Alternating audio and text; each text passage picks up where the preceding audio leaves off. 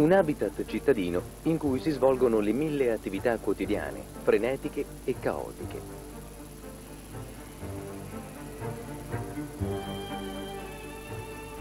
Uomini e donne in corsa nel traffico, in attesa dell'autobus o del tram. Momenti di vita in un ambiente di cemento e asfalto in cui distrattamente ci aggiriamo, tentando di dimenticare i problemi, tra cui quello dei nostri rifiuti, di cui velocemente cerchiamo di sbarazzarci.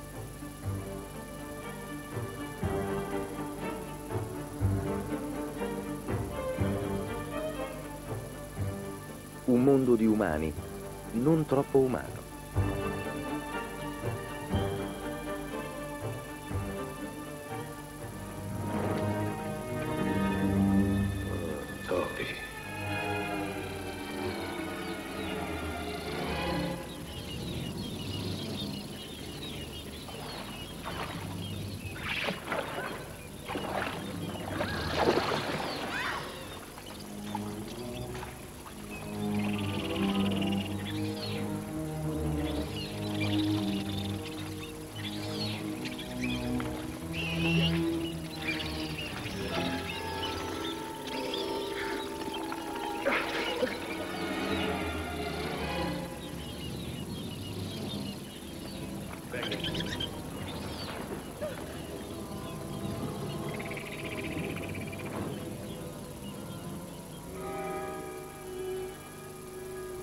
Tra noi umani un mondo di topi, o meglio di ratti. Il ratto delle chiaviche, detto anche surmolotto, è un roditore di circa 25 cm di lunghezza, che può raggiungere fino a 500 grammi di peso. Di colore grigio-marrone, talvolta nero. La coda è lunga quanto il corpo ed è di colore chiaro, con peli radi.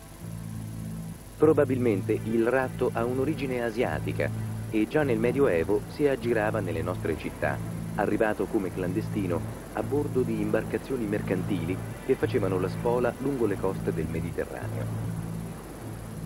E già a quei tempi si rifugiava nei sistemi fognari che eleggeva a sua ideale dimora.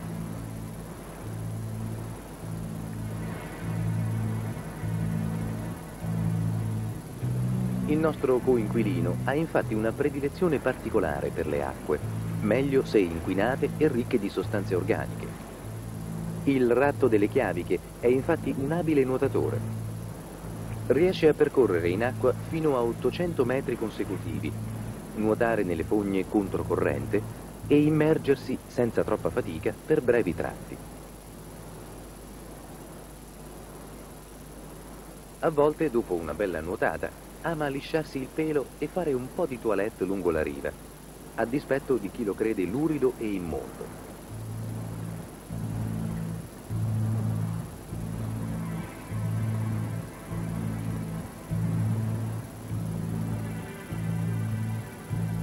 I rapporti sociali tra ratti sono improntati su una pacifica convivenza e sulla politica delle pari opportunità tra i sessi. I maschi e le femmine hanno infatti la stessa libertà di accesso al cibo disponibile, senza gerarchie di sorta. I ratti delle chiaviche sono territoriali, ma al contrario di quanto si favoleggia sulla loro presunta aggressività, sono particolarmente rari i casi di veri e propri combattimenti tra maschi o tra intrusi e membri di altre colonie. All'interno del proprio nucleo gli individui si riconoscono a vista e attraverso l'olfatto e difendono un piccolo territorio nell'interno della propria tana o poco più. Sulla base delle disponibilità di cibo, un maschio adulto occupa con il suo gruppo un territorio che va dai 100 metri di raggio fino a circa 3 chilometri.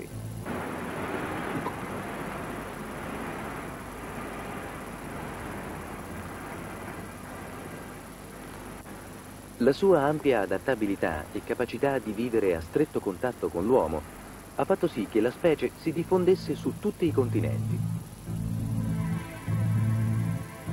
Ma il rapporto con gli umani è andato ancora più avanti, tanto che i ratti dipendono strettamente da noi per il cibo e le tane. Spesso anche nelle discariche possono essere presenti delle colonie che utilizzano i nostri scarti alimentari. In compagnia di altri commensali quali volpi, cani randagi, gabbiani comuni e gabbiani reali.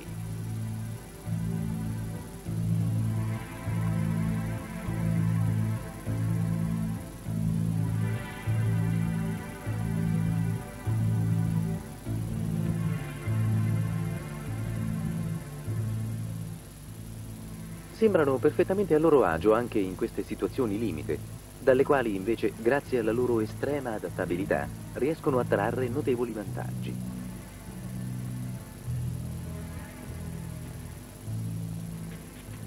Il ratto delle chiaviche è infatti una specie particolarmente eclettica quanto a comportamento e a schemi sociali e la sua innata curiosità lo spinge a visitare qualsiasi ambiente e ad adattarsi a qualsiasi situazione, anche difficile. È in grado, anche se con qualche difficoltà, di arrampicarsi all'interno di qualsiasi condotto e di spostarsi su tubi o fili sospesi.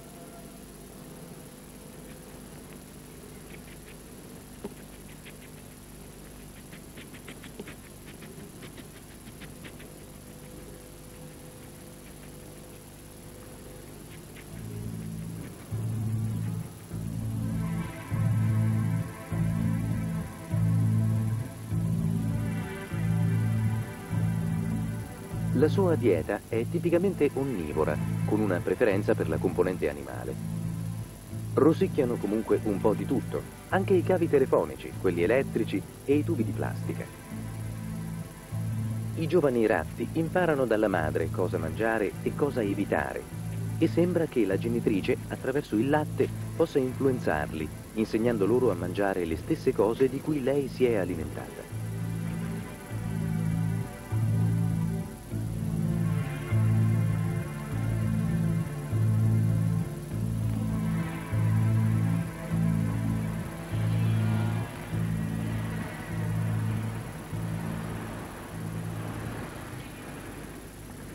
Un maschio adulto si può muovere ad una velocità che varia da 0,5 a 1,5 km l'ora e si allontana dalla sua tana per cercare il cibo per un massimo di circa 3 km.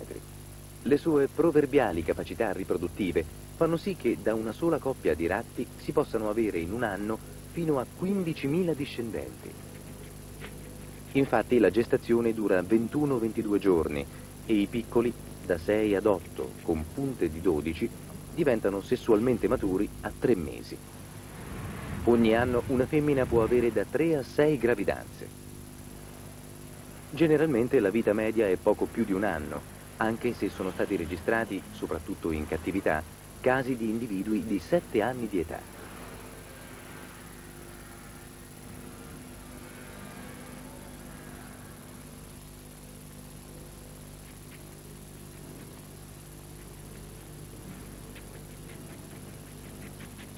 Eppure questo sgradito e odiato coinquilino, che spesso frequenta per motivi disparati ambienti e luoghi a noi vicini, dai prati ai viali, ai parchi gioco per bambini, non ha tutte le colpe che amiamo imputargli. È più che altro un comodo capro espiatorio, bersaglio di faraonici quanto inutili, vista la biologia della specie, programmi di derattizzazione che non vanno a incidere sui problemi strutturali delle fognature e su quello dei rifiuti. Spesso viene in questo modo utilizzato per distogliere l'attenzione dai veri problemi di degrado ambientale delle città, problemi che hanno contribuito a causare l'esplosione demografica dei roditori e che hanno fatto sì che in alcune città ci vedessimo assegnati dalle statistiche dai 4 ai 10 ratti a testa.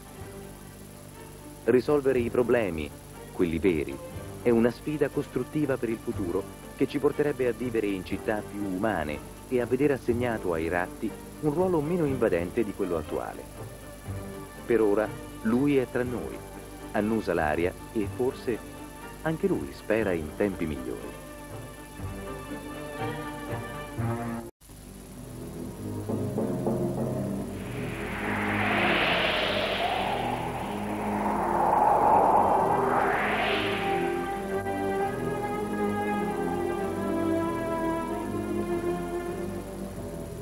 L'inizio dell'Ottocento vide lo sviluppo della città industriale. La popolazione crebbe a dismisura. La sovrappopolazione creò molti problemi. liquami e scarichi nelle strade, malattie e illegalità. Era molto differente dalla forma ideale di città che si supponeva fosse la sede della civiltà, al sicuro dagli eccessi della natura.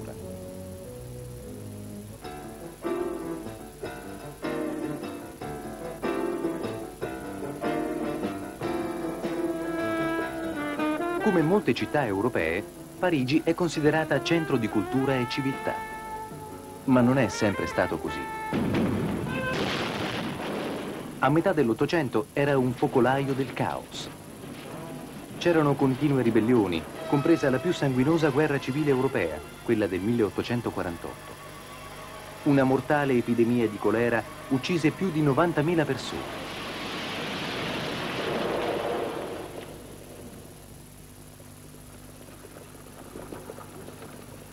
Il barone George Haussmann venne incaricato da Napoleone III di mettere ordine nella città. Haussmann allargò i boulevard, portò l'acqua potabile dalle campagne e spostò le casupole in periferia. Gli scarichi furono il suo problema più pressante. A metà dell'Ottocento la gente pensava che le malattie fossero causate dai miasmi, la fetida aria emanata dalla materia in decomposizione. Le vecchie fognature di Parigi, piccole e rudimentali, erano considerate il terreno di coltura delle temibili epidemie. Hausmann aveva ereditato 26 chilometri di condutture stagnanti, sconnesse, alcune risalenti al periodo medievale. Disegnò un piano generale per costruire 776 chilometri di tunnel comunicanti. Quando vennero terminati, in pratica era una città sotterranea. Le fognature confluivano in tre cloache principali che portavano gli scarichi nella periferia della città.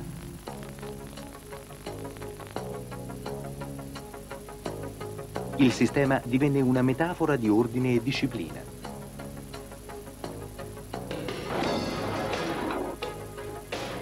Le dimensioni delle nuove fognature erano una radicale innovazione. Non erano condutture, ma tunnel, ognuno largo abbastanza da permettere l'ispezione di un uomo. Il nuovo sistema si avvantaggiò della pendenza della città lungo la direttrice sud-est-nord-ovest la forza di gravità poteva giocare il suo ruolo. Ma la gravità da sola non bastava a sospingere una certa quantità di materiale inorganico che prendeva la via delle fognature.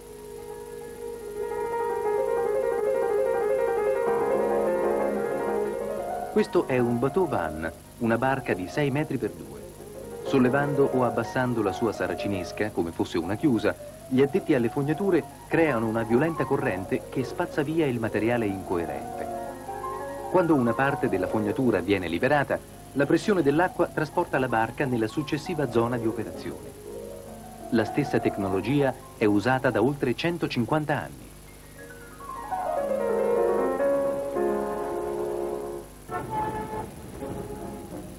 Le nuove fognature vennero acclamate come un trionfo tecnologico. Il colera era stato sconfitto e le strade adesso erano pulite e sicure. Questa idea di tecnologia faceva presa sull'immaginario popolare. Questo futuristico film, realizzato dall'Associazione per lo sviluppo elettrico nel 1934, pubblicizzava il risparmio di fatica consentito dall'elettricità. Ma il film veicolava un altro messaggio, palesato nel disegno dei vestiti e della cucina, anche dei dintorni e cioè che l'elettricità prometteva un mondo pulito, candido e brillante.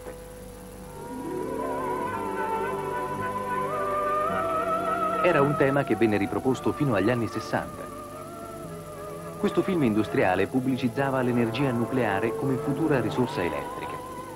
Suggeriva che l'elettricità aveva rispettato la sua promessa di pulizia, purezza e comfort.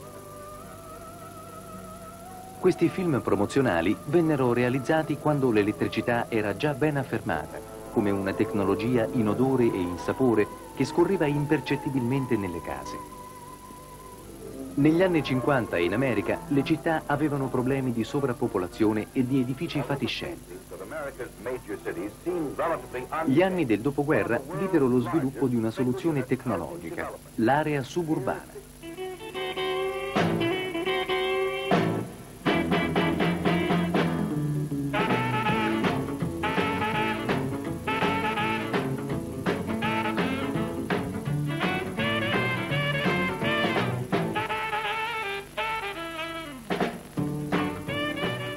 I sobborghi non erano solo una fuga fisica dalla città e dal mondo del lavoro. Rinforzarono l'idea della casa come luogo di tranquillità. Nel frattempo gli urbanisti e gli architetti volevano rendere le città americane più sane e pulite. Si formò una coalizione tra urbanisti, responsabili dello sviluppo e governo federale.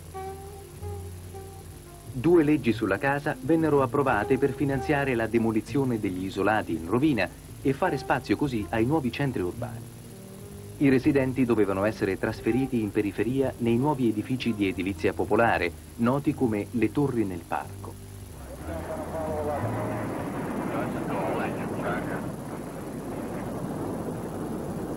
Nel 1969 l'uomo era in grado di allontanarsi dalla confusione, il problema della Terra.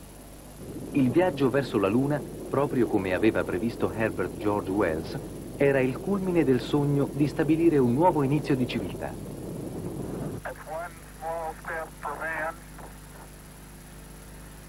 L'atterraggio sulla Luna il 20 luglio 1969 confermò che la colonizzazione dello spazio poteva diventare una realtà. Ma ironicamente l'allunaggio ha rivolto lo sguardo della gente verso di sé e ha contribuito a un rivoluzionario ripensamento nei confronti della natura. La consapevolezza ambientale si era già sviluppata nei gruppi di controcultura antitecnologica. Volevano tornare alla natura, allo sporco, al disordine. Per gli hippie lo sporco includeva ogni genere di roba vecchia. Per loro roba vecchia non era una parola sporca. Trent'anni dopo, riciclare non è più un'attività marginale, è diventata una caratteristica delle classi medie.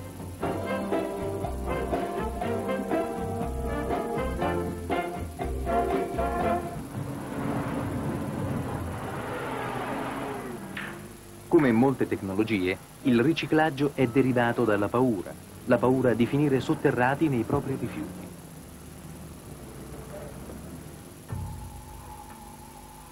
Oggi da molta gente la tecnologia è vissuta come una minaccia, una sporca presenza aliena all'orizzonte. Nel frattempo il mondo naturale, che originariamente era aspro, selvaggio e freddo, il mondo da cui noi avevamo il bisogno di proteggerci, ora è visto come fonte di stabilità, di civiltà, di pulizia. La tecnologia può apparire a molti di noi come un qualcosa di indipendente, in realtà è solo un artefatto culturale. Così come è cambiata la nostra consapevolezza culturale, è possibile cambiare il tipo di tecnologia che abbiamo.